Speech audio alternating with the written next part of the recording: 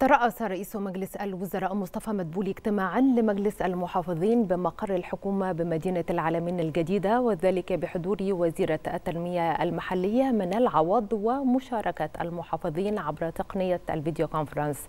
وخلال الاجتماع أكد رئيس الوزراء مسؤولية المحافظين بصورة كاملة في استيداء حقوق الدولة في الوحدات المنفذة لساكني المناطق غير الآمنة لاستدامة الحفاظ على هذه المشروعات.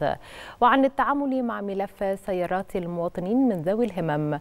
أشار رئيس الوزراء إلى التكليف الصادر في هذا الصدد بشأن تشكيل لجنة في كل محافظة بالتنسيق مع وزارة المالية للتأكد من السيارات التي حصل عليها ذوي الهمم وأنهم هم المستفيدون بها ولم يتم استخدامها والاستفادة بها من غيرهم.